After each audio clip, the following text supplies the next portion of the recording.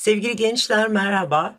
Ortaöğretim Genel Müdürlüğü, Materyal ve İçerik Geliştirme Daire Başkanlığı tarafından hazırlanan YKS Kampı 2023 ile yine sizlerle birlikteyiz.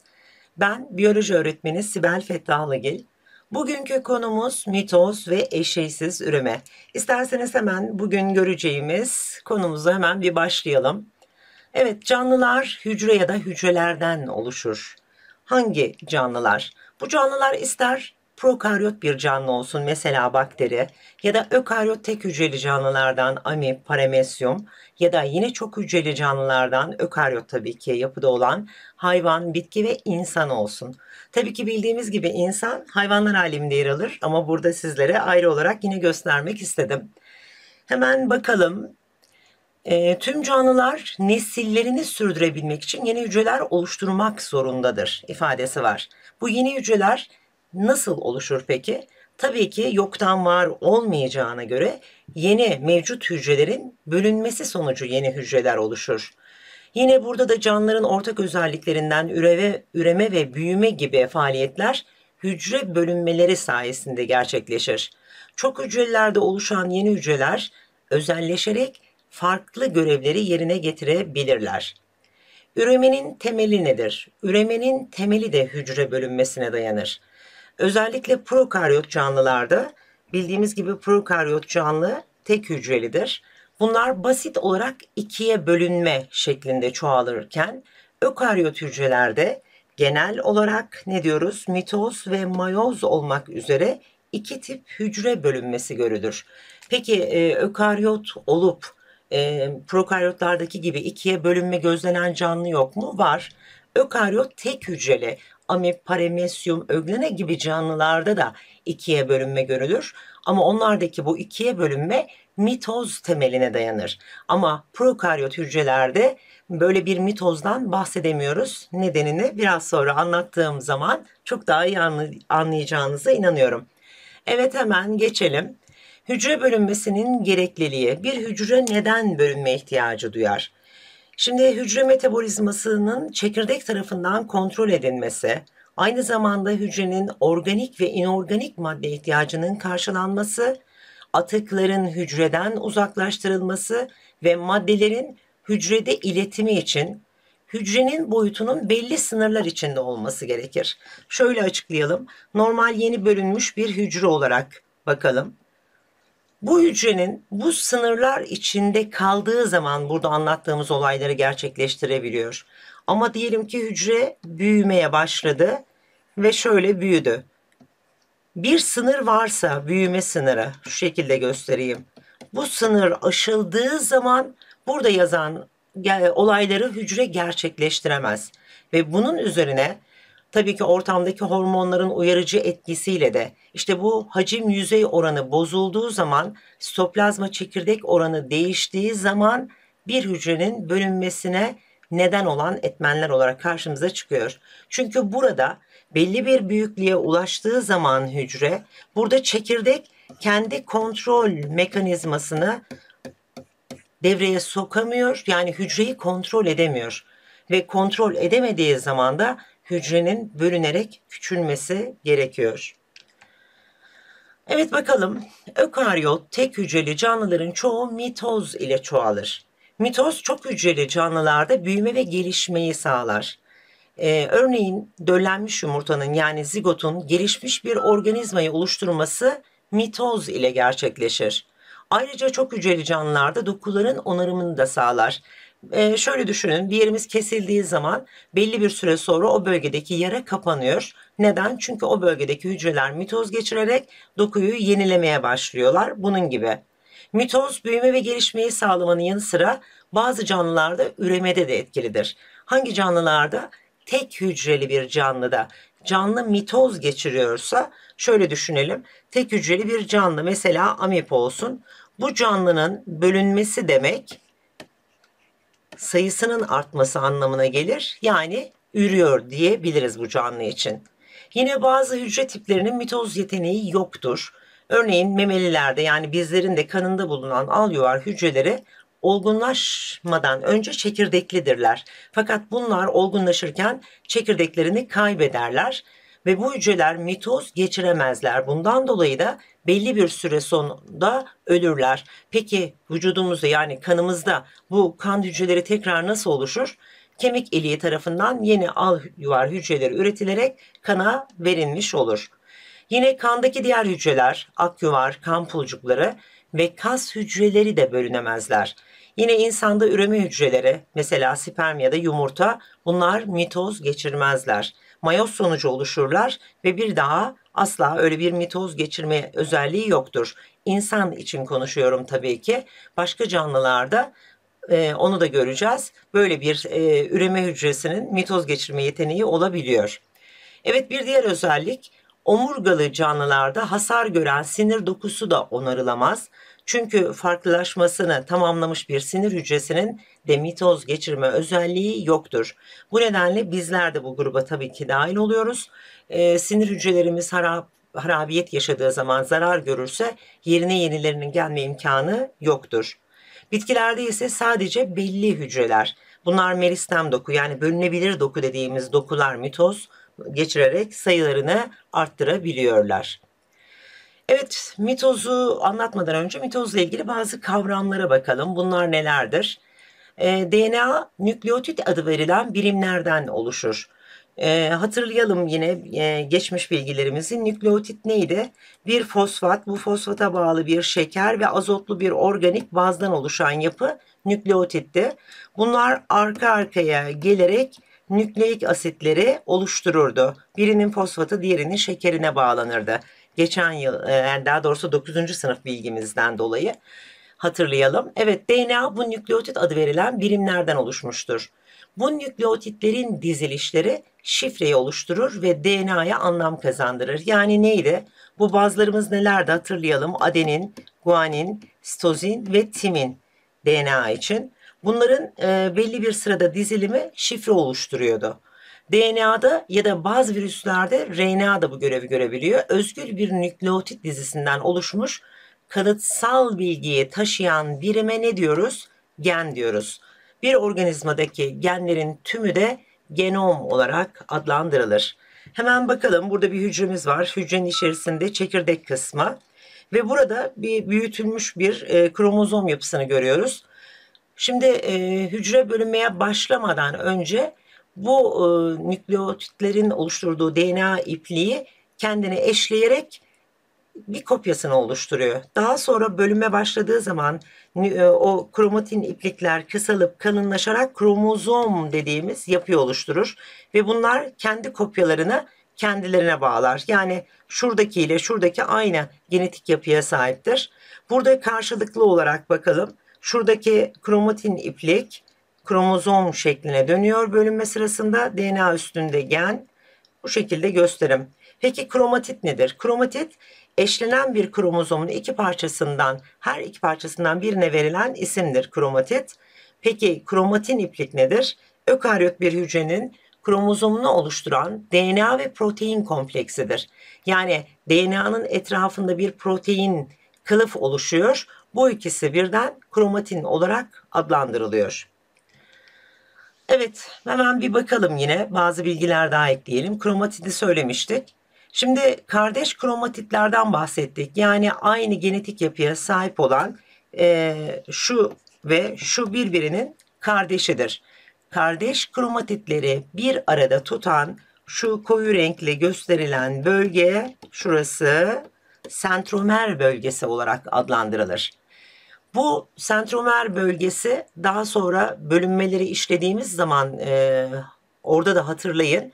Kardeş kromatitler birbirinden ayrıldığı zaman bu sentromer bölge yani şuradan şuradan koparak ayrılacaklar. Bir de kinetokor denen bir yapı var. Şurada görüyoruz. Kinetokor nedir? Bu da bu kromozomun iyi ipliklerine bağlandığı proteinlerdir. Çünkü bölünme sırasında çekirdek zarı eriyip eridiği zaman kromozomlar serbest kalır. Rastgele sağa sola dağılmaması için ipliklerine tutunmaları gerekir. İşte bu ipliklerine tutundukları bölgedeki bu proteinler kinetokor olarak adlandırılır. Hemen bir diğer e, bilgimize geçelim. Şimdi hücre bölünmesi dedik. Hücrelerin neden bölünmesi gerektiğinden bahsettik. Peki bu hücre bölünmeleri nasıl gerçekleşir? Bir hücrenin bölünmesinden sonra yeni oluşan hücrenin tekrar ikinci bir bölünme geçirmesine kadar geçen bu dönem hücre döngüsü olarak adlandırılır. Mitoz hücre döngüsünün sadece belli bir kısmını kapsar. Hücre döngüsüne hemen bakalım. İsterseniz şurayı şöyle göstereyim ben yine basit olarak. Bir hücre bölündü ve iki tane yeni hücre oluştu. Mitozla diyelim. Bunların tekrar bölünme geçirmesine kadar yani şu tekrar bölünecek ve iki hücreye dönüşecek. Bu aradaki döneme biz hücre döngüsü diyoruz. Evet. Hemen bakalım. Hücre döngüsü interfaz ve çekirdek bölünmesi ve stoplazma bölünmesi evrelerini kaplıyor. Şimdi burada e, interfaz ve mitotik evre dersek daha aslında açıklayıcı olur. İsterseniz şekil üstünden de bakalım. Mitotik evre dediğimiz zaten çekirdek bölünmesi ve stoplazma bölünmesi ikisi birden mitotik evreyi oluşturur. Evet şöyle gösterelim. İnterfazla başlayalım isterseniz. İnterfaz nedir? İnterfaz kısaca bölünmeye hazırlık evresi diye adlandırılır. Burada 3 tane alt evre görülür. Bunlar G1 evresi, S evresi ya da S evresi ve G2 evresi olmak üzere 3 alt evre var. Bunlar burada da şekil üstünde göreceğiniz gibi interfaz evresi şuranın hepsini şöyle kaplıyor.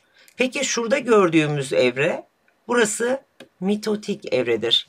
Dikkat ederseniz şurada yeşil, pembe ve mavi ile gösterilen uzun bir interfaz evresine karşın çok kısa bir mitotik evre karşımıza çıkıyor. Demek ki bu hücre döngüsünde en uzun evreyi interfaz evresi yani bölünmeye hazırlık evresi alıyor. Peki buralarda neler oluyor? Hemen isterseniz bakalım bu interfaz evresinde. G1 evresi dediğimiz maviyle gösterdiğimiz evrede neler oluyor? Burada metabolik olaylar yoğun şekilde e, başlamış oluyor. Hücre madde alışverişi yapıyor, çeşitli sentez olayları yapıyor, yıkım olayları yapıyor. Bölünme sonrası yeni hücreye aktarmak için organel yapımları devam ediyor. RNA sentezleri yani kısaca G1 dediğimiz evrede hücre hızlı bir şekilde bölünerek bölünme sonrası için malzemelerini oluşturmaya başlıyor. Hemen arkasından S evresi geliyor. S evresi dediğimiz evre sentez evresi diye de adlandırılabilir. Sentez nedir? Yapım. Peki neyin yapımı? DNA'nın kendini eşlediği evredir ve bu şekilde bir kopyasını oluşturuyor. Neden? Çünkü hücre bölündüğü zaman bir kopyasını bir hücreye, diğer kopyasını diğer hücreye verecek. Böylece eşit olarak dağıtılmış olacaktır. Yani kısaca S evresinde DNA miktarı iki katına çıkar. Hemen geliyoruz G2 evresine. Burada da G1 evresi gibi yine protein, enzim ve RNA sentezleri devam eder ve yine sitoplazmadaki organeller artar. Yani burada e, en önemli evrelerin biri tabii ki bütün evreler önemli ama S evresi gerçekleşmezse DNA miktarı iki katına çıkamayacağı için bölünme de gerçekleşmeyecektir. Devam ediyoruz. Mitotik evreye bakalım. Mitotik evre e, interfaz evresinde tüm hazırlıklar yapıldıktan sonra bölünmenin gerçekleştiği evredir. Burada hangi hücre tiplerinde e, bu bölünme görülür? N kromozomlu hücrelerde 2N kromozomlu ya da 3N kromozomlu mesela endospermler 3N kromozomludur. Bu hücrelerde mitoz gerçekleşebilir. Mitoz kelime anlamı olarak çekirdek bölünmesi diye adlandırılıyor aslında. Bu evrede hücrenin tüm kalıtsal bilgileri yeni oluşacak çekirdeklere yani yeni oluşan hücrelere geçmektedir. Özellikle çok hücrelerde zigot oluşumuyla başlar ve canlının yaşamı sona erene kadar mitoz devam eder. Onu da hemen şöyle gösterelim isterseniz. Burada en kromozomlu iki hücre diyelim birleşerek döllenip iki en kromozomlu zigotu oluşturdu.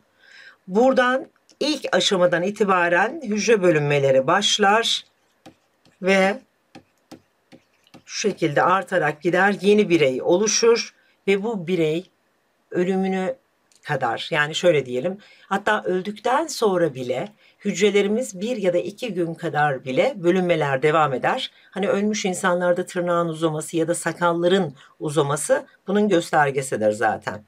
Evet mitotik evreyi de iki bölümde inceleyeceğiz. Bunlar biri karyokinez ya da diğer adıyla işte mitoz çekirdek bölünmesi demiştik ya mitozun kelime anlamı çekirdek bölünmesi İkinci olarak da stokinez yani stoplazma bölünmesi.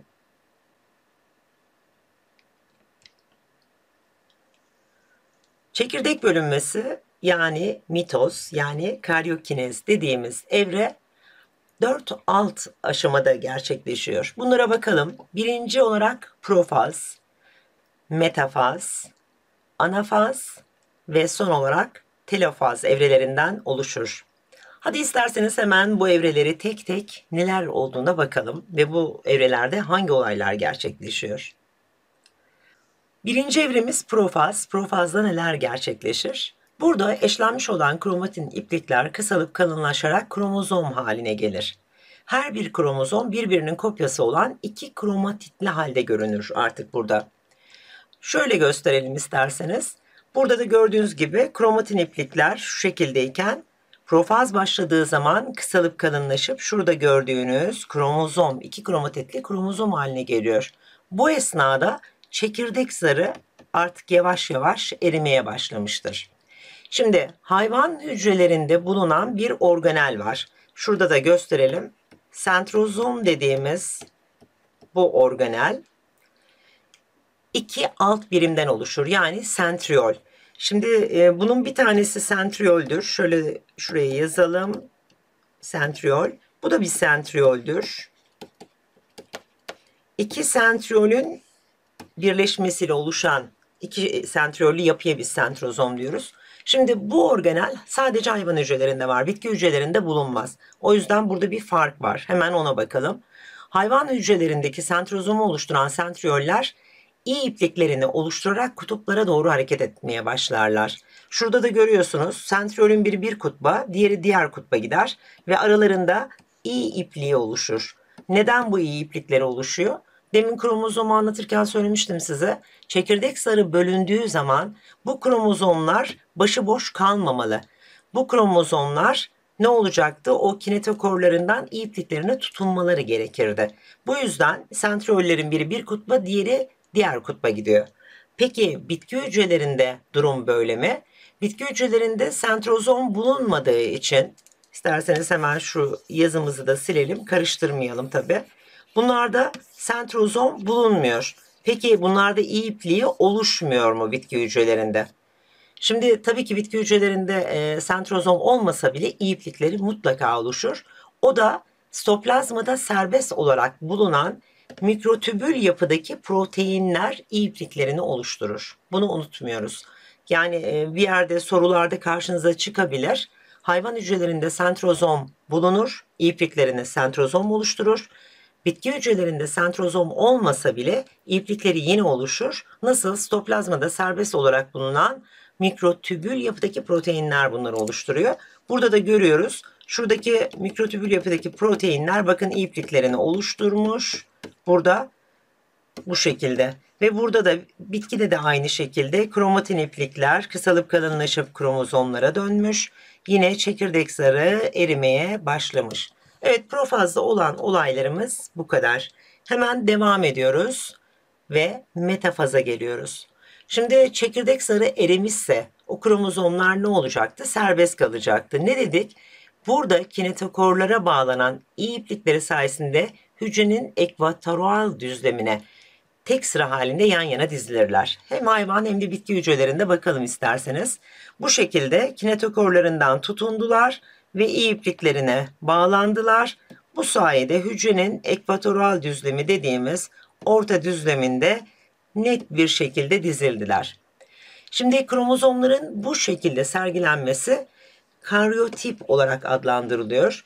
Bu e, bir hücrenin kromozom sayısını bulmak istediğimiz zaman kaç e, diye bakmak istediğimiz zaman hücre bölünmesinin metafaz evresini gözlememiz gerekir.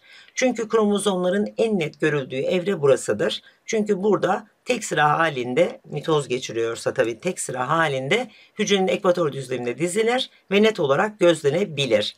Burada e, ne işimize yarar? Bir hücrenin kromozom sayısını bulmak için de bu yöntem kullanılabilir ya da kalıtsal hastalıkların erken teşhisinde bu yöntem kullanılır. Bu şekilde kromozomlar incelenerek herhangi bir anomali var mı yok mu bu tespit edilebilir. Evet bir diğer üçüncü evremiz neydi? Anafaz evresi. Anafaz evresinde neler oluyor? Hemen oraya da bakalım. Yine bitki ve hayvan hücrelerinde aynı şekilde gerçekleşir. Ne demiştik? Ee, kardeş kromatitler sentromer bölgesinden ipliklerine tutunmuşlardı. Şimdi bu kardeş kromatitleri bir arada tutan sentromer bölgesindeki proteinler enzimler tarafından yıkılıyor ve iyi iplikleri sayesinde her bir kromozomun kardeş kromatitleri birbirinden ayrılarak zıt kutuplara hareket ediyorlar. Şimdi e, şuna dikkat edelim. Şöyleydi. Şöyle gösterelim. Bunlar kardeş kromatitti. Buradan bağlıydılar. İşte burada bu sentromer bölgesindeki bu proteinler enzimler tarafından kırıldığı zaman bunlar birbirinden ayrılır. Bu esnada şu i e, iplikleri yukarı doğru çekilmeye başlar. Bu sayede kardeş kromatitler birbirinden ayrılmış olur. Şimdi anafaz evresi ile ilgili önemli bir ipucu sorularda karşımıza çıkabilecek bir şeydir. Şimdi burada kaç kromozomu varmış bu hücre için konuşalım. İken 6 kromozom doğru mu? 1, 2, 3, 4, 5, 6 tane kromozom sayıyoruz. Bunlar anafaz evresinde kardeş kromatitler ayrıldığı andan itibaren her bir kromatit artık kromozom olarak adlandırılır.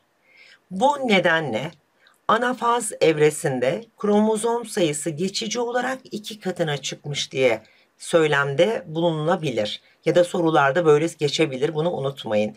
Yani iken 6 kromozomlu bir hücrede anafaz evresinde 12 kromozom saymış oluruz o zaman. 6 tanesi aşağıda 6 tanesi de yukarıda olmak üzere. Bu bir geçici durumdur. Neden?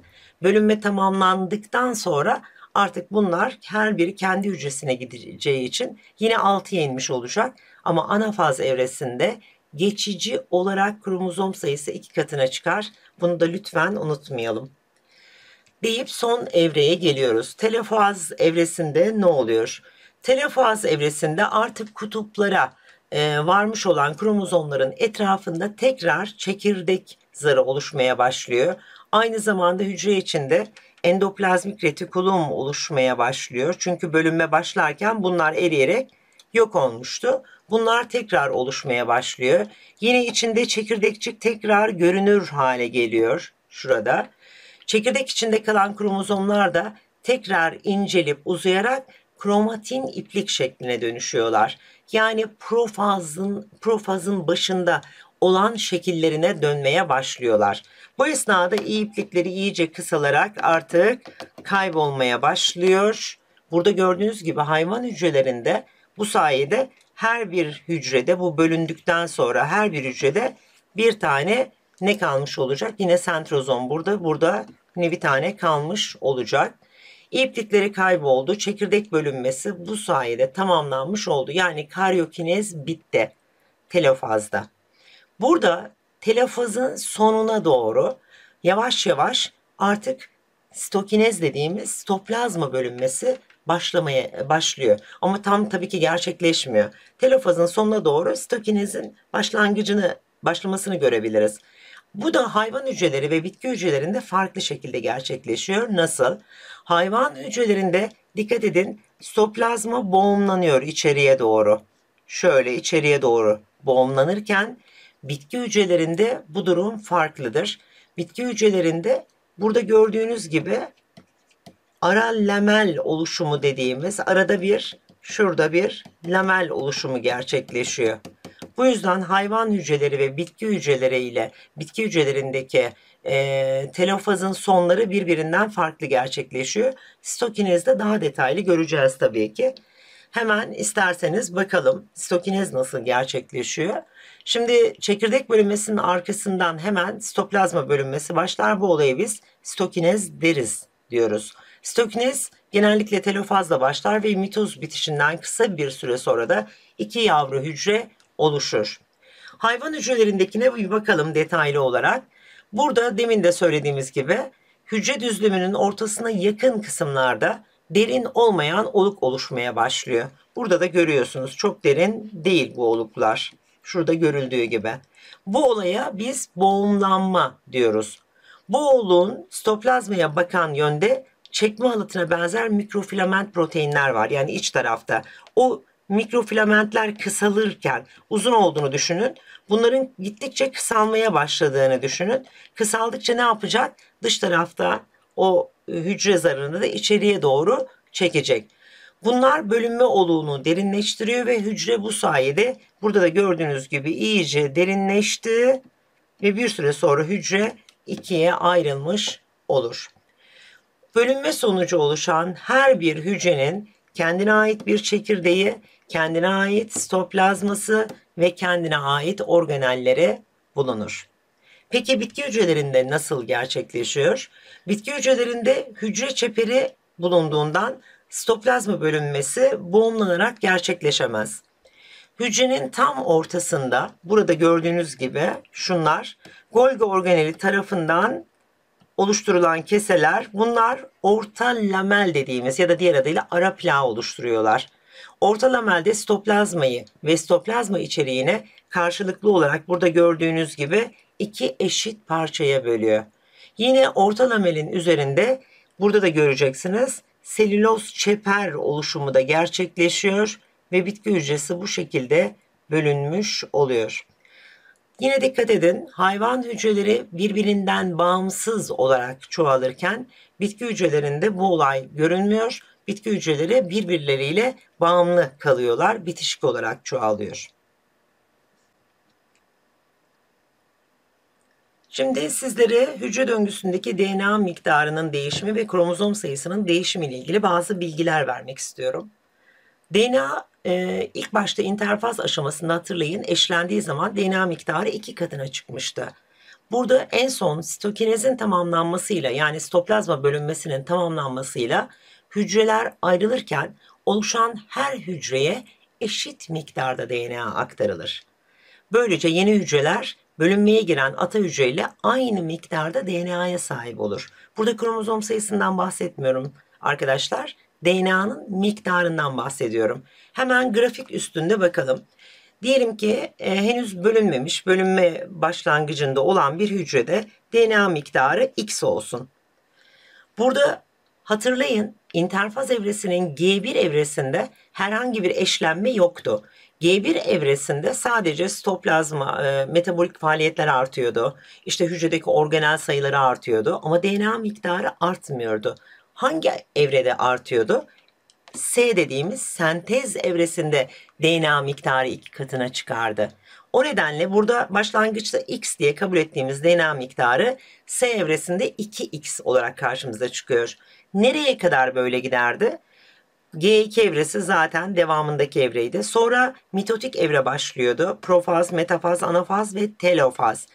Telofaz hatırlayalım yine. Stokinez nerede tam olarak başlıyordu? Telofaz bittikten sonra stoplazma bölünmesi başladığı için telofaz hatırlayın hayvan hücresinde henüz daha boğumlanma olmuştu. Değil mi? Daha tam olarak ayrılma yoktu. Çekirdek oluşmuş olsa bile o yüzden biz bunu tek hücre sayıyorduk. Bir hücre bu. Buradaki DNA miktarı ve buradaki DNA miktarı o yüzden telofazda da 2x gösteriyorum. Ne zaman stokinez tamamlanıp bu iki hücre birbirinden bağımsız iki hücre olursa bakın burada x var burada x var hala telofazda o yüzden 2x'tir. Ama ne zaman stokinez biter ve iki tane bağımsız hücre oluşur o zaman tekrar krom, e, şey hücre döngüsündeki DNA miktarı tekrar X'e döner. Bu nedenle burada da gördüğünüz gibi stokinezde yine DNA miktarı X'e dönmüş. Evet hemen şimdi kromozom sayısı ile ilgili aynı şekilde bilgi verelim. Burada başlangıçta interfazda 2N olan bir hücreyi baz alalım. e, daha önce de söyledim. E, mitoz sadece iki en kromozomlu hücrelerde gerçekleşmek zorunda değil. En olabilir, üç en olabilir. Ben buradaki örnekte iki en kromozoma sahip bir hücrenin e, kromozom sayısındaki değişimini göstermek istemişim. Burada ne oluyordu? E, bakın iki en diyelim ki 46 insan olsun. Burada profaz 46, metafaz 46. Ne zamana kadar 46 sayılıyor? Anafazda biraz önce anlatırken ne demiştim size? Kardeş kromatitler ayrıldığı zaman hani hücrenin ekvator düzleminde dizilmiş olan kromozomlarda kardeş kromatitlerin yarısı yukarı yarısı aşağı gitmeye başladığı zaman bakın burada iki katına çıkmış oluyordu anafazda. O yüzden burada dörten diyoruz. Telofaz neydi telofaz? Çekirdek artık yavaş yavaş çekirdek sarı oluşmaya başlamış. Bu dört tane buradaki kromozomumuz buraya. Bu dört tane de buraya geldi. Bakın hala ilk e, dörten. Ne zaman? Sadece sitokinez gerçekleştikten sonra artık ne oluyordu? Pardon şöyle gösterelim. İki hücre bağımsız olduğu zaman artık buraya iken, buraya iken diyebiliriz. Bunları neden özellikle burada veriyorum? Bunlar burada 92 olarak adlandırılır. Çünkü sorularda karşımıza çıkabiliyor. Buna dikkat edelim. Anaf, e, anafazda ve telofaz bitene kadar kromozom sayısı iki katı olarak kabul edilir. Stokinezden sonra ise normal e, sayısına dönmüş olur.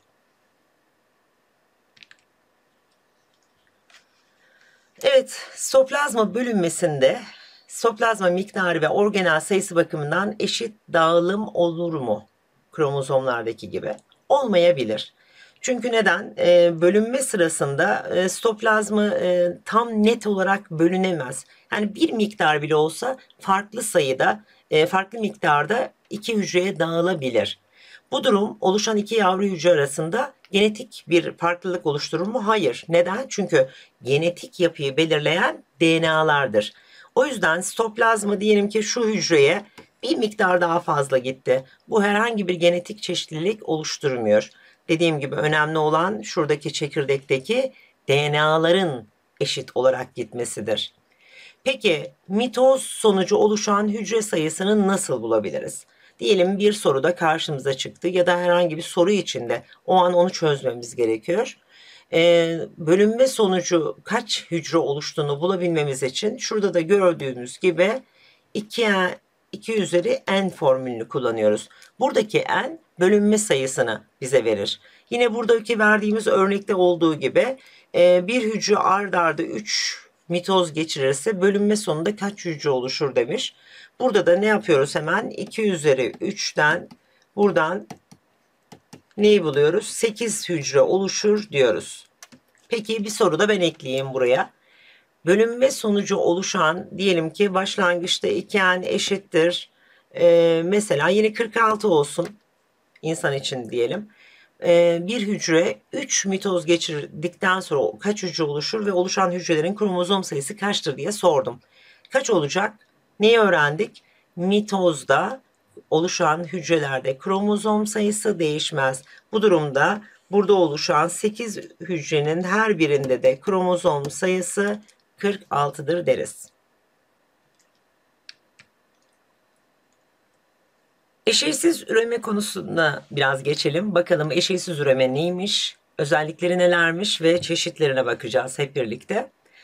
Ana canlının döllenme olmaksızın yeni bireyler oluşturmasına eşeysiz üreme diyoruz. Buradaki zaten eşey kelimesi e, karşı cinsi oluşturan her bir bireye eşey diyoruz biz. Bir cinsiyet olarak düşünün. Tek başına bir bireyden yeni bireylerin oluşması eşeysiz üremedir. Eşeysiz üreme ile oluşan yeni canlılar birbirleriyle ve ana canlıyla aynı genetik özelliklere sahiptir. Tabii ki bu mutasyon bunu unutmuyoruz. Gerçekleşmediği sürece kalıtsal çeşitlilik sağlanmaz. Çünkü neden? Biraz önce dedik. E, eşeysiz üremenin temeli mitozdur. Bunu da unutmayalım. Mitoz olduğu için biraz önce anlattığımız olaylarda mitozda oluşan her bir yeni hücre ata hücrenin aynı kalıtsal özelliklerini taşıyordu. O yüzden de burada eşeysiz üreyen bir canlı varsa oluşacak yavru bireyler ata canlı ile aynı genetik yapı olduğu için kalıtsal çeşitlilik görünmüyor. Yine eşeğsiz üreme canlıların uygun ortamlarda dağılıp hızla çoğalmasını sağlar. Çevre koşulları değişmediği sürece bu da önemli. Çevre koşulları değişmediği sürece çevreye uyum sağlamış bireyler oluşur. Peki bu iyi bir şey mi? Şimdi e, kalıtsal çeşitlilik sağlanmadığı için burada değişen ortam şartları değişirse uyum güçlüğü yaşarlar bu yeni oluşan bireyler. O yüzden eşeğli üreme daha üstün özellikteki yeni bireyler oluştuğu için bu uyum yetenekleri daha fazladır eşeğli üreyen canlılarda. Bu nedenle eşeğsiz üreyen canlılarda bu uyum yeteneği fazla olmadığı için yok olma ihtimalleri daha fazla oluyor. Eğer çevre şartları, koşullar değişirse. Yani dayanıklı, e, dayanıklı olmaları biraz daha zorlaşıyor diyelim. Evet eşeğsiz üremenin temeli mitoza dayanır dedik demin de söyledik. Tek bir ata canlının olması yeterlidir. Yani yeni oluşacak bireyi bir tek ata canlı mesela işte e, tek hücreli bir amip diyelim bu. Bölündüğü zaman iki tane amip oluşuyor. Gördüğünüz gibi tek bir tane ata canlı yeterli. Çoğalma hızları yüksektir. Kısa sürede çok sayıda yavru birey oluştururlar. Şimdi bir döllenme e, ve eşeyli üreme e, özellikleri görünmediği için mesela bir bakterim e, çeşidi 20 dakikada bir çok kolaylıkla bölünüp çoğalabiliyor. Ama eşeyli üreyen canlılarda tabii bu kadar bu derece hızlı bir üreme görünmüyor. Yine eşeysiz üreme tek hücrelilerde görülebilir. Bazı bitkilerde, mantarlarda ve hayvanların bazılarında görülebilir. Bunları da konumuzu anlattıkça örneklerimiz içinde göreceğiz. Gelelim eşeysiz üreme çeşitlerine. Eşeysiz üreyen canlılarda vücut yapılarına göre farklı üreme şekilleri vardır. Bunlar bölünerek üreme, tomurcuklanma, sporla üreme, rejenerasyon, partenogenez ve vejetatif üreme olarak karşımıza çıkıyor. Bunların neler olduğuna tek tek bakalım. Hemen bölünerek üreme ile başlayalım isterseniz. Nedir? Tek hücreli canlılarda görülen bir eşeysiz üreme çeşididir bölünerek üreme.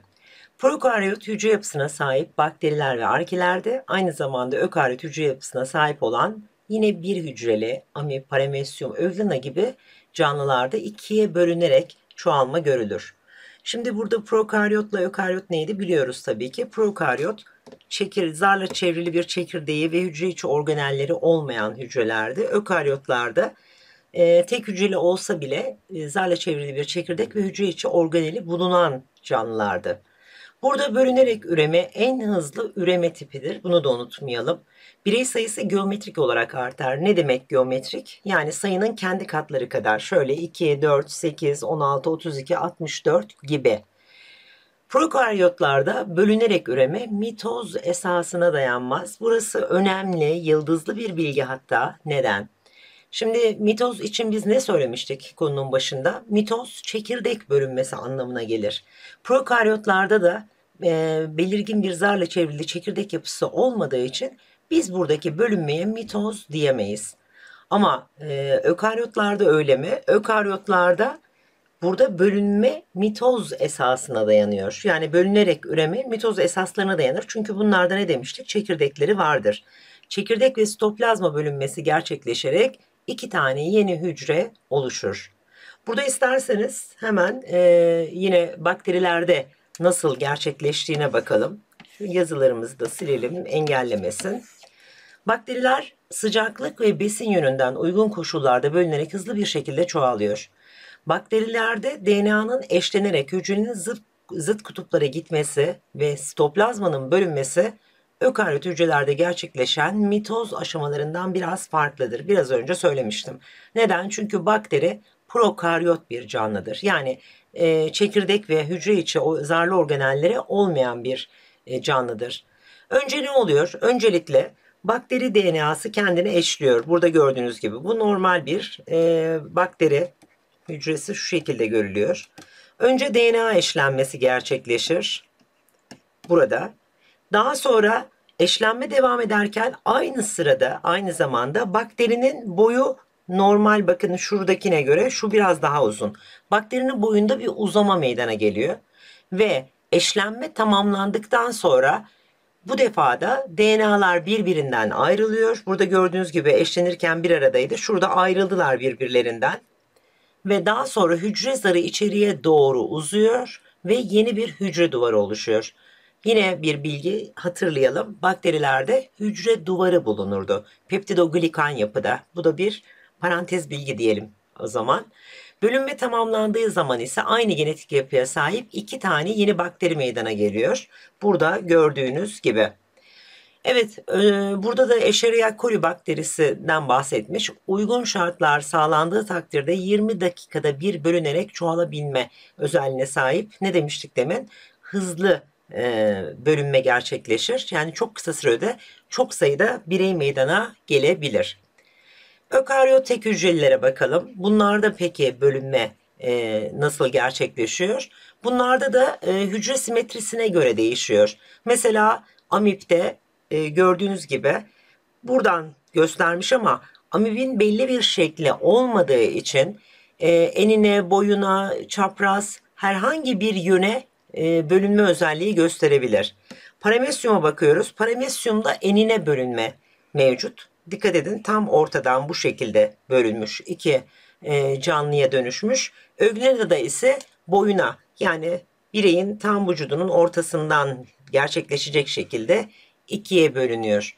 Burada yine dikkat etmeniz gereken şey burada yer alan üç canlı türü de ökaryot olduğu için bunlarda belirgin bir çekirdek, e, zarla çevrili çekirdek ve hücre iç organelleri bulunduğu için bu canlılar mitoz esaslarına göre bölünerek çoğalırlar. Bunu da unutmayalım. Tomurcuklanma ile üreme nedir? Burada da ana bireyin vücudunda yine mitozla bir çıkıntı oluşuyor. Biz bu çıkıntıya tomurcuk diyoruz. Bu tomurcuğun gelişmesiyle yeni bir birey meydana geliyor. Mesela bira mayası gibi tek hücreli canlılarda sünger, hidra ya da mercan gibi omurgasız hayvanlarda veya bazı bitkilerden ciğer otlarında gerçekleşen bir e, üreme şekli, eşeysiz üreme şekli.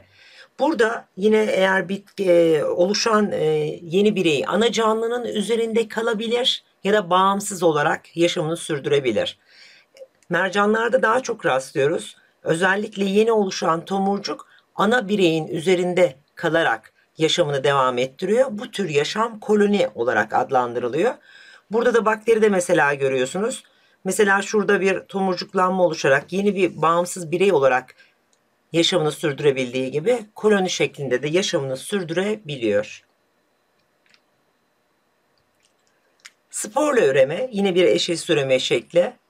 Bazı mantar ve altlerde eğrelti otu özellikle karayosunu gibi çiçeksiz bitkilerde ve sıtma hastalığına yol açan plazmodium malaria gibi bazı protistlerde yani bir hücreli canlılarda görülen bir üreme şeklidir. Burada spor ana canlıdan mitoz veya mayoz sonucu oluşan en kromozomlu üreme hücrelerine verilen isimdir. Sporlar döllenmeden uygun ortam bulduklarında burada gelişmeye başlayarak yeni birey oluşturabiliyorlar. Yine e, çok önemli bir özellikleri uygun olmayan olumsuz çevre şartlarına karşı çok dayanıklıdır bu sporlar. Bu sayede uzun süre varlıklarını sürdürebilirler. Yine burada da örnek verelim isterseniz hemen. Eğrelti otlarında mesela spor keseleri var. Burada görüyorsunuz küçük küçük. Bu spor keselerindeki sporlar olgunlaştığı zaman o keseler patlıyor ve bunlar etrafa yayılarak yeni canlıları oluşturabiliyorlar. Ya da puf mantarı adını verdiğimiz bir mantar türü var. Burada da gördüğünüz gibi burada da sporlar mitoz ile oluşur. Bunlar daha sonra rüzgarla veya başka dış etmenlerle çevreye yayılarak yeni mantarları oluşturabilirler. Rejenerasyonla üreme çok hücreli canlılarda yıpranan, zarar gören ya da ölen hücrelerin yerine yenilerinin üretilmesidir. Bu sayede canlı hücre kaybı yaşadığı doku ve organlarını onarabilir, yenileyebilir. Ancak canlıların gelişmişlik düzeyi arttıkça rejenerasyon yetenekleri azalır. Rejenerasyon doku, organ ve vücut düzeyinde gerçekleşebilir. Şimdi belki söylediğim şeyler biraz kafanızı karıştırmış olabilir, karışık gelebilir. Kısaca şöyle diyelim. Ee, mesela e, canlının gelişmişlik düzeyi arttıkça rejenerasyon yeteneği azalır dedi. Bizler en gelişmiş canlılar olarak herhangi bir yerimizde bir yara bir şey oluştuğunda o bölgedeki hücreler mitozla çoğalarak o bölgeyi e, onarıyor. Yani yara iyileşiyor dediğimiz olay da bir rejenerasyondur. Ama mesela bir organımız işlev göremediği zaman ya da koptuğu zaman kolunuz, parmağınız tabii ki Allah göstermesin diyelim. Öyle bir durumda onun yerine yenisi oluşmaz. Çünkü biz en gelişmiş canlılar içindeyiz. Bizdeki rejenerasyon e, hangi düzeyde kalır? Sadece doku düzeyinde kalır bizde. Organ düzeyinde var mıdır? Karaciğerimizin belli bir kısmı e, kendini yenileyebiliyor biraz. Hani belli bir miktar kalırsa e, geri kalan tamamlama olayı var ama tam bir organ düzeyinde dememiz yanlış olur. Ama bazı canlılar var ki o canlılarda organ hatta vücut düzeyinde bir rejenerasyon gerçekleşebiliyor. Özellikle dediğimiz gibi gelişmişlik düzeyi daha düşük olan canlılarda buna rastlıyoruz. Hemen isterseniz bir örnek verelim. Mesela e, omurgasızların derisi dikenliler grubunda olan deniz yıldızları. Bunlar da e, nasıl tam bir organ ve vücut düzeyinde e, re, rejenerasyona rastlayabiliyoruz. Deniz yıldızlarında 5 tane kol ve bu kolların birleştiği merkezi bir disk, disk vardır. Şu alan şöyle gösterelim. Burada 5 kolun birleşme noktasıdır burası. Bu merkezi disklerin beşte birine sahip olan deniz yıldızları kopan kollarını tamamlayabilirler. Yani mutlaka kopan parçanın merkezi diskten bir parça alması gerek. Beşte bir oranında bile olsa alması gerek. Almayan kol kendini yenileyemez. Ayrıca demiş burada kopan her koldan da yeni bir deniz yıldızı oluşur. Ama tekrar ediyorum tek şart merkezi diskten parça almış olması gerekiyor. Şimdi burada biz bu e, deniz yıldızımızı tam ortadan ikiye bölelim. İki tarafta da merkezi diskten pay kalmış. Buradaki kopan parça kendini yenileyerek yeni bir deniz yıldızı oluştururken diğer parça da kendini yeniler ve bir deniz yıldızı oluşur. Böylece eşeğsiz bir şekilde üremiş olur. Ya da diyelim ki sadece kolu kopsaydı. Kolu merkezi diskten parça alırsa iki tane de olabilir, bir tane de olabilir. Şöyle yapalım. Buradan koptu. Eğer bu merkezi diskten 5'te 1 oranında parça almışsa bu da kendini tamamlar bu da. Ama almamışsa diyelim ki şuradan koptu. Şurası ya da daha dibi de olabilir. Ortaya dokunmasın. Mesela şöyle yapalım. Şu ne olur? Bu kendini tamamlayarak yeni bir deniz yıldızı oluşturur mu? Hayır oluşturmaz. Bu ölür. Ama geriye kalan kısım tekrar kendini tamamlar organ düzeyinde olarak şu şekilde yeni bir deniz yıldızı oluşturabilir. Dediğimiz gibi burada da önemli olan e, bilgi e, gelişmişlik düzeyi arttıkça hemen şöyle diyelim rejenerasyon yeteneği azalır. Bunu da unutmuyoruz. Bir diğer eşeğsiz üreme çeşidimiz partenogenez. Kelime anlamı olarak nedir dersek, döllenmemiş yumurta hücresinin mitozla gelişerek yeni birey oluşturmasıdır. Bu kelime anlamı. Peki açıklama olarak nedir? Bakalım. Şimdi eşeyli üreyen canlılarda görüle, e, görülebilen partenogenez aslında bugün güncel bilim kaynaklarını incelediğimiz zaman bir eşeysiz üreme yöntemi olarak tanımlanıyor. Ama eşeyli üreyen canlılarda da görülüyor bu. Peki nasıl oluyor? Onları da hemen açıklayalım. Özellikle omurgasızlardan olan bal arılarında, eşek arılarında, karıncalarda, kelebek veya yaprak bitlerinde görülen bir üreme şekli. Omurgalılarda da görülüyor. Burada da komodo ejderi veya çekiş başlı köpek balığında partenogenezi gözlemleyebiliyoruz. Hemen isterseniz arılar üzerinden anlatalım. Şimdi öncelikle yine tabii ki canlılarda iki çeşit partenogenez görülüyor. Bunlardan birincisini anlatıyorum. Burada bal arıları, yaban arıları ve birçok karınca e, türünde görülen e, çeşidinden bahsedeceğim. Burada haploid yani en kromozomlu bireyler oluşuyor. Mesela kraliçe arı e, burada e, mayozla ne üretir? Yumurta hücresi üretir.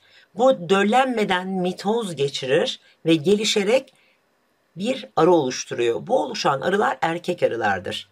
ve bunlar haploid kromozoma sahiptir. Bütün vücut hücreleri oradan mitozla çoğalıp arı erkek arı oluşuyor ama bütün vücut hücreleri yine en kromozomludur. Bunlar yine mitozla sperm üretirler. Çünkü mayoz geçirecek durum yok. Çünkü iki en kromozoma sahip hücreleri yoktur. Yine spermlerini de mitozla geçirirler ve eşeyli üremede görev almış olurlar. Hemen şekil üstünden biraz daha detay vermek istiyorum. Burada kraliçe arı iki en kromozomludur.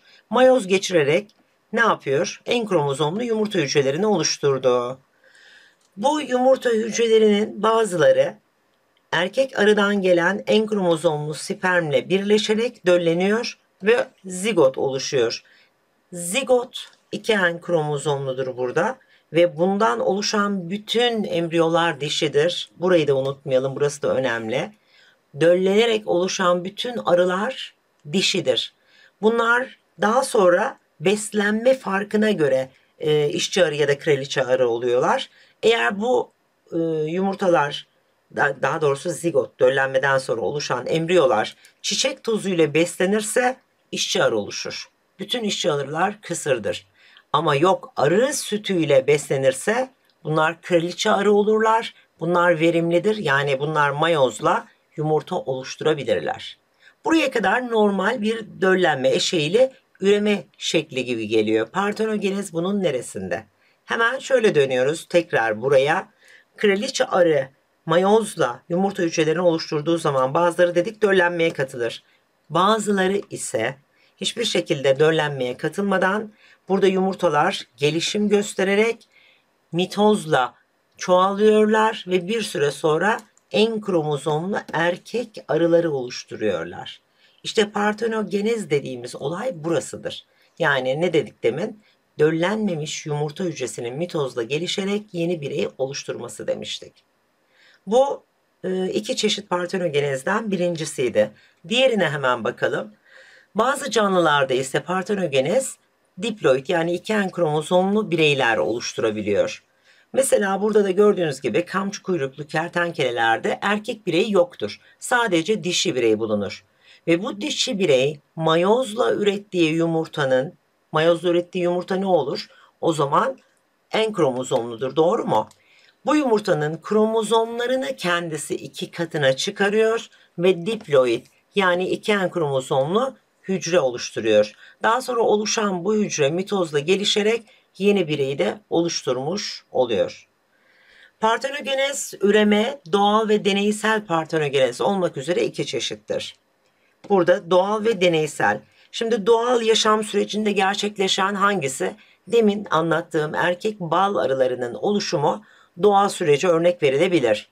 Deneysel olarak laboratuvar şartlarında yapılanlar ise bunlar deneysel partenogenezi olarak adlandırılıyor.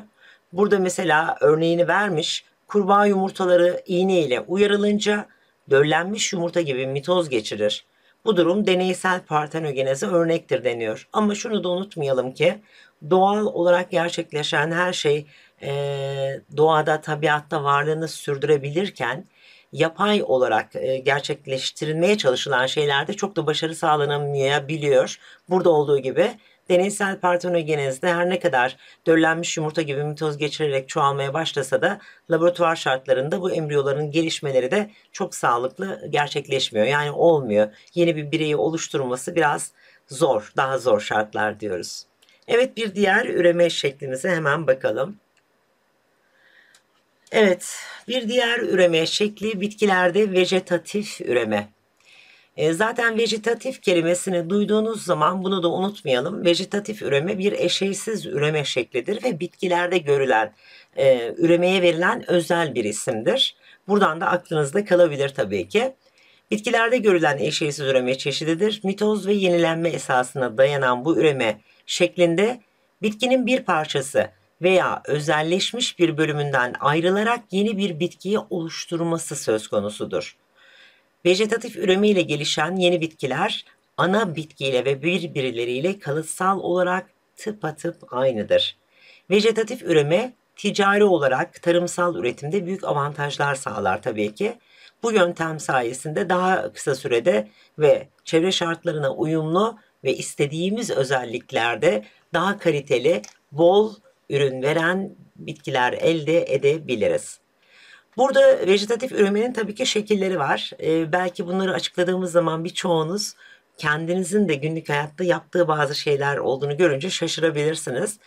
Ee, tabii biz burada bilimsel olarak nasıl olduğunu açıklıyoruz. Bundan sonra siz de daha bilimsel olarak yaptığınız çalışmaları sürdürebilirsiniz.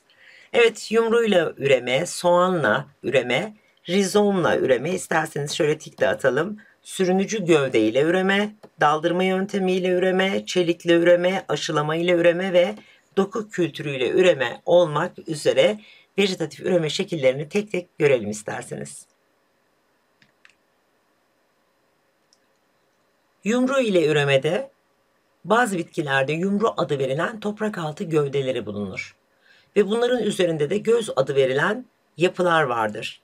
Ve bu göz dediğimiz yapılardan e, bunlar bu yumrular toprağa ekildiği zaman o göz adı verilen yapılardan çıkan yeni bir bitki gelişmiş olur.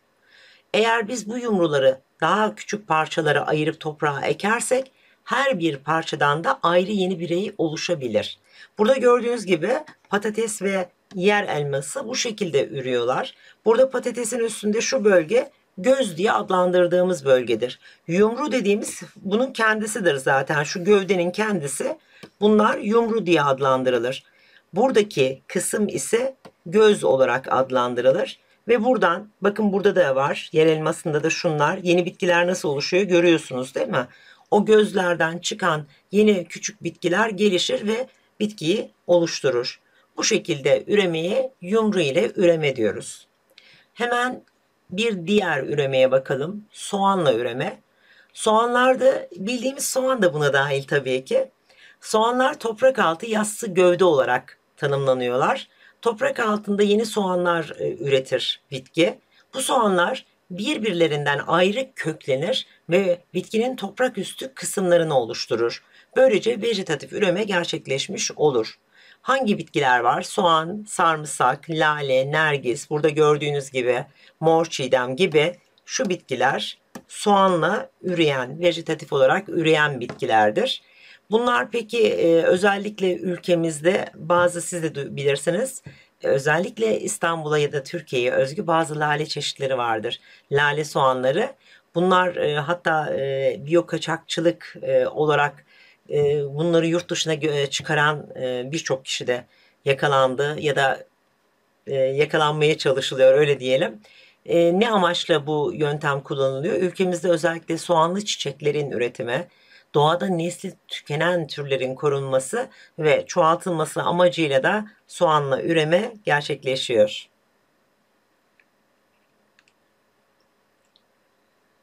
Rizomla üremede burada da bitkinin ana ekseni olan rizom toprak altı gövdesidir.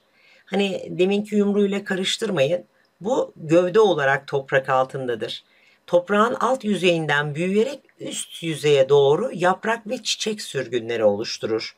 Rizom uzun ve silindir şeklinde şişkin bir yapıdır. Burada gördüğünüz gibi şudur rizom. Hani deminki patates ya da yer elmasındaki gözden çıkan bitkiyle karıştırmayalım. Şu, şunların her biri bir rizomdur. Burada da görüyorsunuz. Şunlar her biri çıkan bunların her biri bir rizomdur.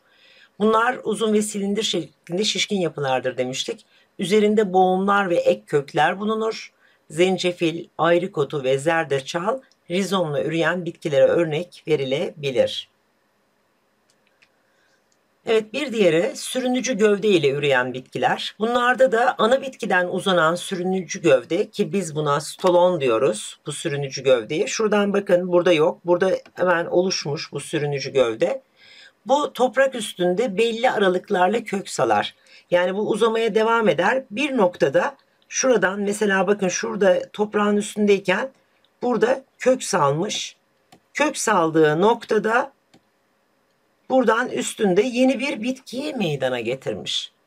Bu şekilde mesela e, burada da e, görselimizde de ve örnek verdiğimiz gibi çilek mesela bu şekilde e, sürünücü gövdeyle büyüyen bir bitkidir. Bunun gibi birçok bitki sürünücü gövdeyle tekrar üretilebiliyor.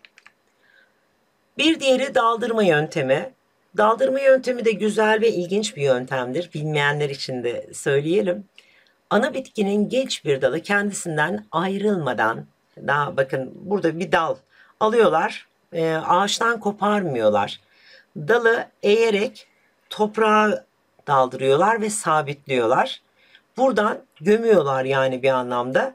Buradan bunun köklenmesi sağlanıyor. Şurada gördüğünüz gibi. Daha sonra köklendiği zaman buradan yeni bir bitki oluşmuş oluyor. Neden böyle bir yöntem seçiliyor?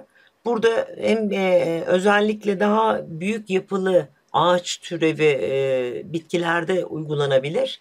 Çünkü normal bir dalı gövdeden ayırdığınız zaman e, toprağa ekseniz de çok çabuk şey yapamayabilir. Yani köklenmeyebilir. Bu dönemde de e, kökleri olmadığı için topraktan su ve mineral alamaz. Burada amaç ne?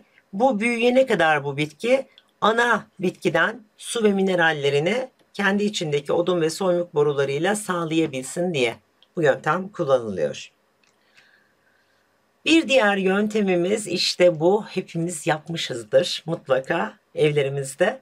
Hani böyle gidersiniz komşuya ya da bir yerde bir çiçek görürsünüz. Aa çok güzelmiş bu menekşeler ne kadar güzel mor menekşe. Ne yaparız? Bir dalından koparırız ve alırız. Daha sonra işte evimize gideriz. Orada bir bardak suyun içerisinde bir hafta 10 gün falan bekleterek köklenmesini sağlarız. Daha sonra alıp onu toprağa ekeriz ve yeni bir menekşe bitkimiz olmuş olur. İşte burada yapılan da bu aslında çelikle bitki üreme dediğimiz olay bu. Hani adını bilmesek de yaptığımız şeyi öğrendik artık. Adı neymiş? Çelikle bitki üretmekmiş. Gövde, kök veya yapraktan alınan bir bitki parçası suda ya da toprakta köklendiriliyor. Daha sonra dikim yapılarak yeni bitki elde edilmiş oluyor. İşte e, bazı bitkilerde mesela çekirdek yoktur içinde. Hani nasıl ürüyor, nasıl bunlar çoğaltılıyor diye düşünebilirsiniz. Söğüt, kavak, asma, gül, incir, ayva, erik, Afrika menekşesi, paşa kılıcı, sardunya, kivi, zeytin ki bunların birçoğunda tabii ki çekirdek var ama bu şekilde de e, çoğaltılabildiğinden bahsediyor burada. Soğanla ve çelikle bitki üretime, bahçecilik ve tarım sektörlerinde oldukça fazla kullanılan yöntemlermiş. Bu yöntemlerle daha çok gıda ve süs bitkisi üretilir diyor. Bir diğer yöntemimiz aşılama ile vejetatif üreme.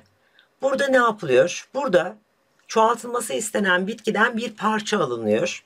Biz bu alınan parçaya aşı diyoruz.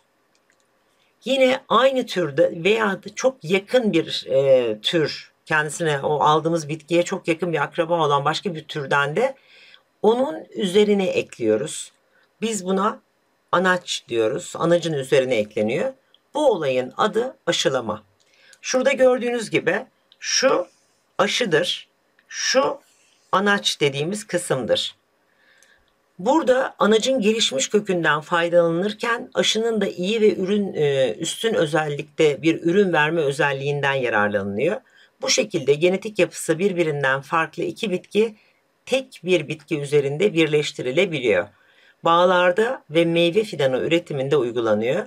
Örneğin elma, armut, vişne, erik, dut gibi ağaçlarda aşılama yöntemi sıklıkla kullanılır diyor.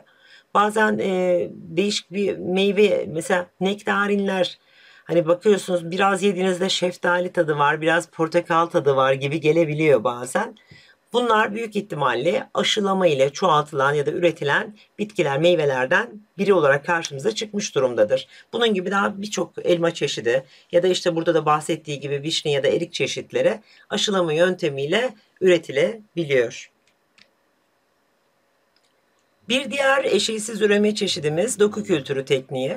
Bu teknikte ne yapılıyor? Burada bitkinin hücre, doku veya organ gibi kısımları kullanılabilir. Buradan steril şartlar bu çok önemli. Steril şartlarda gerekli bitkisel hormonların bunlar nedir? Oksin ve sitokinin bitki büyümesinde etki yapan hormonlar bunlar. Bunların, vitaminlerin ve gerekli olan inorganik maddelerin bulunduğu besi ortamlarında bu yeni doku, bitki ya da bitkisel ürünler elde edilebilir.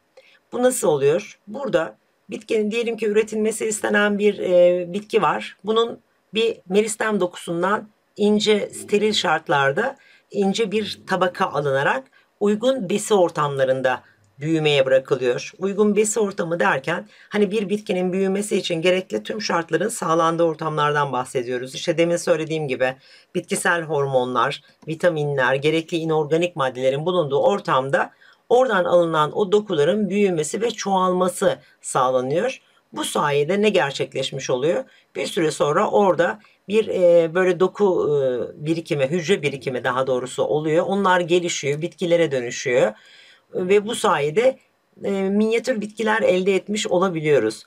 Bitki doku kültürü sayesinde çok kısa zamanda ve küçük daha küçük bir alanda çok sayıda bitkiyi elde etmemiz mümkündür. Özellikle bu yöntem ile bu günümüzde vejetatif bitkilerin çoğaltılması, bitki ıslahı yani iyileştirme çalışmaları, hastalıklardan arınmış bitkilerin elde edilmesi ve özellikle gen kaynaklarının korunması, daha kaliteli bitkisel ürünlerin elde edilmesi doku kültürü tekniğiyle sağlanmış oluyor.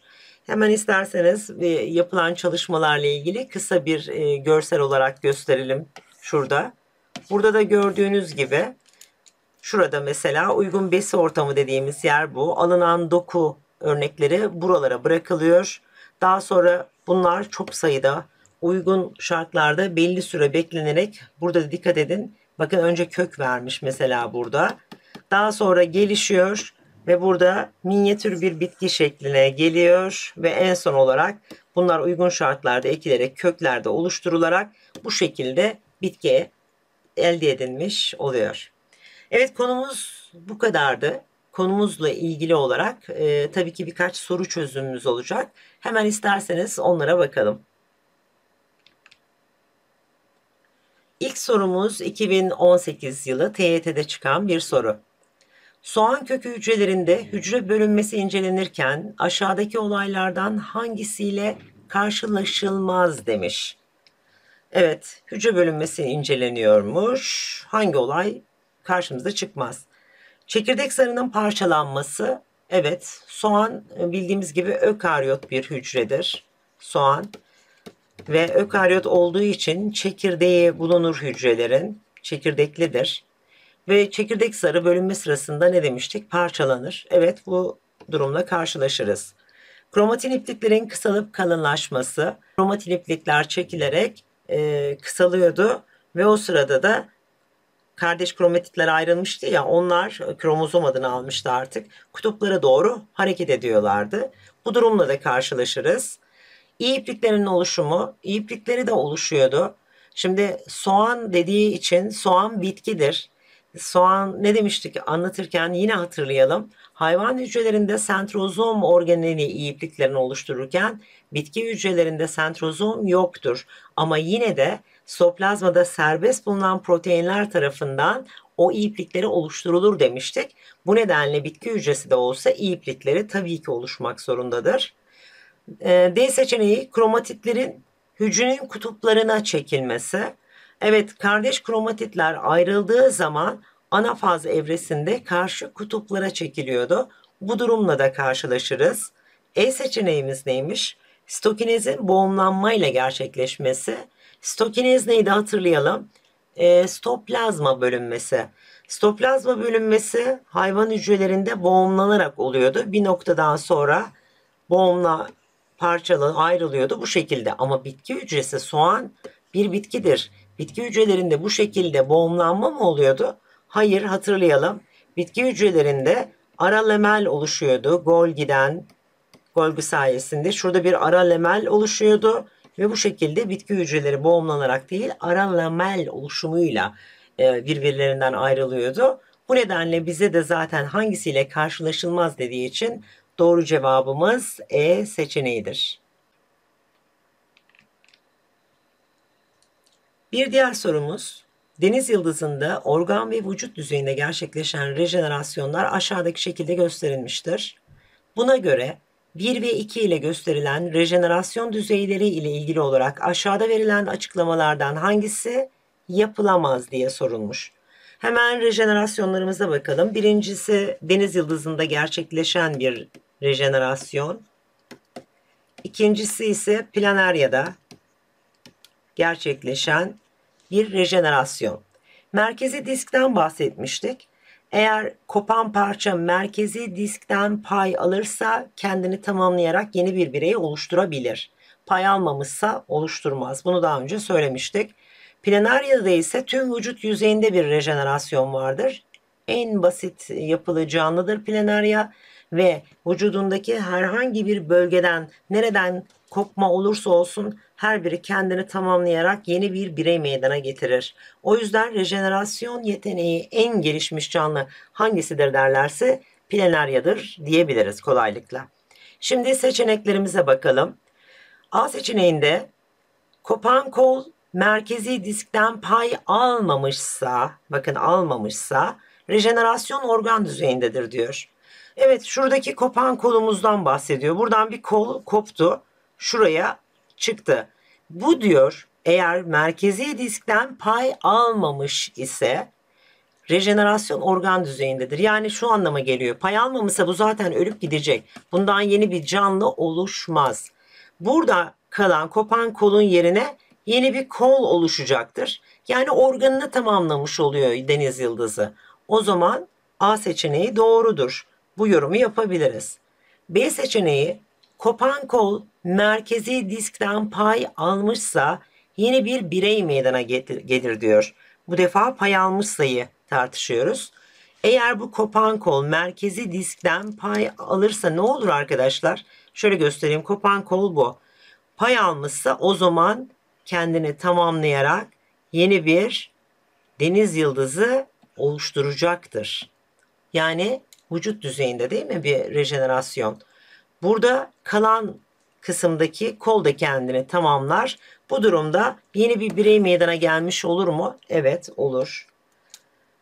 C seçeneğinde birinci rejenerasyonda kopan vücut parçalarının eksik kısımlarının tamamlanmasıyla birey sayısı artar demiş. Şimdi bu A ve B genel bir e, rejenerasyonla ilgili bilgiydi. C'de şimdi şekil üstünden bakalım. Acaba kopan kol merkezi diskten paya dokunmuş mu buraya? Hayır. Bakın kopan kol buradan çıkmış. Yani şuradan kopsaydı eğer, şuradan pay alsaydı evet yeni bir birey oluşabilirdi. Ama şu kısımdan hiçbir şekilde pay almamış. Onu nereden anlıyoruz? Bakın almış olsaydı şuradaki bakın bu kadarlık bir girinti bu merkezi diske ulaşmamış bile. O zaman buradan kopan kol yeni bir birey oluşturmaz diyoruz. Bu nedenle böyle bir yorum yapılamaz diyeceğim. Ama diğer hemen iki seçeneğe de bakalım. Her iki rejenerasyon düzeyinde de temel olay mitozdur. Evet ne dedik? Mitoz sayesinde hücre sayısı artıyor ve canlı rejenerasyonunu tamamlıyor. Bizde bile ne demiştim? Yara olduğu zaman o yaradaki yaralı bölgenin iyileşmesi tamamıyla ve tamamıyla temel olay oradaki olay mitozdur. E seçeneği ikinci rejenerasyon örneği vücut düzeyinde gerçekleşmiştir. Evet bunu da biraz önce açıkladım. En gelişmiş rejenerasyon açısından en gelişmiş ama en basit canlı planaryadır. Ve planaryalarda vücut düzeyinde gerçekleşir. Burada hatta şöyle diyeyim buralı, buradan ve buradan keselim planer, e, planaryayı. Her biri ayrı bir birey oluşturabilir. O derece yüksek bir rejenerasyon özelliği var. Evet bizden de hangi açıklama yapılamaz diye sorduğu için doğru cevabımız C seçeneğidir. Normal bir mitoz sonucu meydana gelen aynı canlıya ait iki hücrede, aynı canlıya ait iki hücrede verilenlerden hangileri kesin olarak aynıdır? Ee, aynı canlıda iki hücre var. İkisi de mitoz sonucu meydana gelmiş. Bunlarda kesin olarak aynı olan özellikler soruluyor bizden. Birinci öncülde çekirdekte bulunan DNA miktarı aynı mıdır kesin olarak? Yani şunu demek istiyor. Bir hücre iki en kromozomlu bir hücre mitoz geçiriyor aynı canlıda. Yine iki en kromozomlu iki hücre oluştu. Bunlarda çekirdekte bulunan DNA miktarı aynı mıdır? Evet, DNA miktarı demiş. Evet aynıdır. Neden? Çünkü bu interfaz aşamasında şu hücre interfaz geçirmeden e, interfaz aşamasında bölünme geçirmeden önce DNA miktarını iki katına çıkarıyordu. O daha sonra yarısını buraya, yarısını da diğer hücreye aktarıyordu. Bu durumda ikisindeki DNA miktarı aynıdır. Doğru. Kromozom sayıları aynı mıdır? Evet. Ne dedim? 2N kromozomlu bir hücre bölünürse tekrar 2N kromozomlu iki yeni hücre oluşur. Bu durumda kromozom sayıları da kesin olarak aynıdır. 3. Organel sayıları aynı mıdır? Evet, e, stokinez aşamasında yani stoplazma bölünmesi aşamasında bazı bir hayvan hücresi gösterelim. Şöyle boğumlanma başlamış diyelim şöyle. Şimdi stoplazmanın çok az bir kısmı diğer hücreye kayabilir. Birinde çok az miktarda kalabilir. Çok fazla fark olmasa da biri büyük biri küçük olabilir. Ama ne demiştik? Bu hiçbir zaman kalıtsal çeşitliliği etkilemez demiştim. Yani organel sayısı da stoplazma miktarı da e, aynı olmak zorunda değil. Yani kesin aynıdır diyemiyoruz. Yaklaşıktır. Birinde 3 tane mitokondri vardır, diğerinde 4 mitokondri gitmiştir. Yani o yüzden bir kesinlik arz etmiyor. Bu durumda organel sayısı ve stoplazma miktarına kesin aynıdır diyemem. Bizden kesin olarak aynı olanlar sorulduğu için 1 ve 2'nin yer aldığı B seçeneğimiz doğru cevaptır. 2N 28 kromozomlu bir hücre peş peşe 4 mitoz geçirirse aşağıdakilerden hangisinde doğru olarak belirtilmiştir diyor. Yani A ve B'de bazı şeyler sorulmuş. Ne sorulmuş? Bölünme sonrası oluşacak toplam hücre sayısı ve bölünme sonrası oluşan hücrelerin kromozom sayısı. Şimdi 2N eşittir 28 kromozomlu bir hücremiz var. Peş peşe 4 mitoz geçiriyor. Biz ne demiştik? Ee, e, krom, e, oluşan hücre sayısını bulabilmek için hangi formülü kullanıyorduk? 2 üzeri n'i kullanıyorduk. Buradaki n mitoz sayısını ifade ediyordu bize. Bu durumda 2 üzeri 4. Neden? 4 mitoz geçirmiş. 2 üzeri 4 ne yapar arkadaşlar? Şöyle hemen yazalım. 16 hücre oluşur.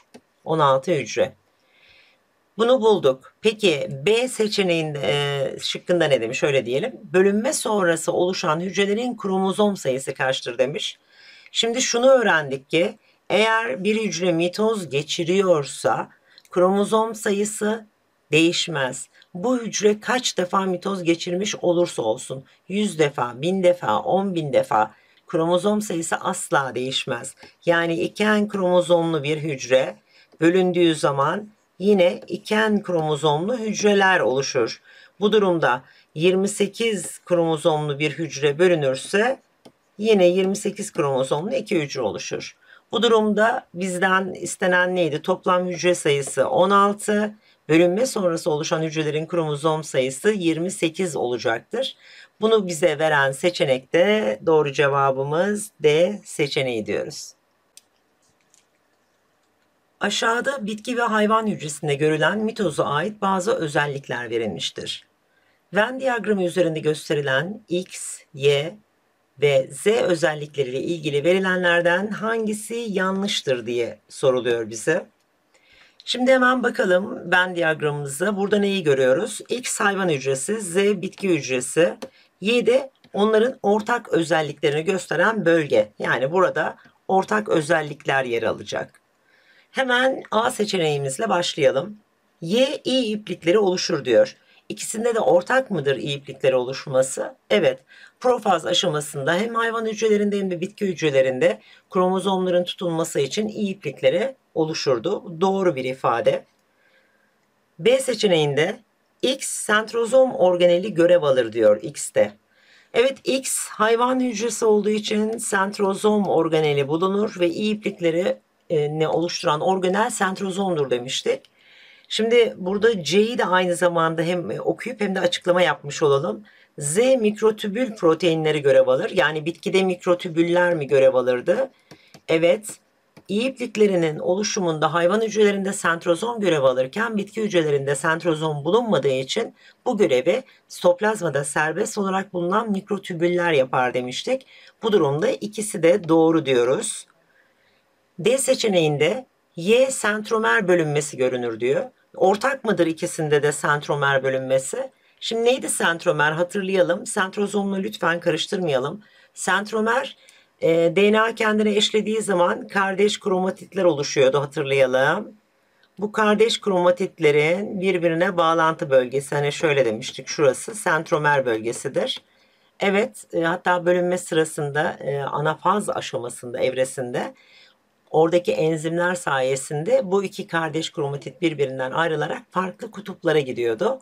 Peki sentromer bölünmesi ikisinde de mitoz bölünmede ortak mı gözlenir? Evet ortak gözlenir diyoruz.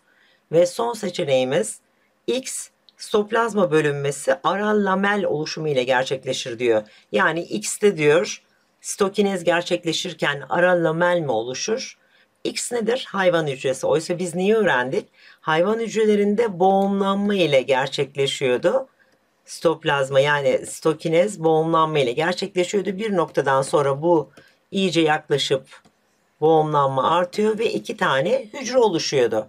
Ama aral lamel oluşumu nerede gerçekleşirdi? Bitki hücrelerinde gerçekleşirdi. Yine hatırlayalım. Bitki hücrelerinde Golgi tarafından şu arada burada iki çekirdek oluşmuştu. Artık telofazın sonuydu. Telofaz bitmişti. Ne oluyordu? Burada bir ara lamel oluşumu gerçekleşiyordu. Hatta daha sonra bunun hücre duvarı da oluşuyordu üstünde. Bu şekilde sitokines tamamlanıyordu. Bu durumda E seçeneğinde bahsettiği ifade X için değil Y, e, Z için yani bitki hücresi için geçerli olacak bir ifadedir. Bu nedenle yanlıştır diyoruz. Sevgili gençler bugün sizlerle mitoz ve eşeysiz üreme konusunda konu tekrarlarımızı yaptık. Özellikle önemli noktaları vurguladık. Umarım faydalı olabilmişizdir. Hepinize iyi çalışmalar diliyorum, kolaylıklar.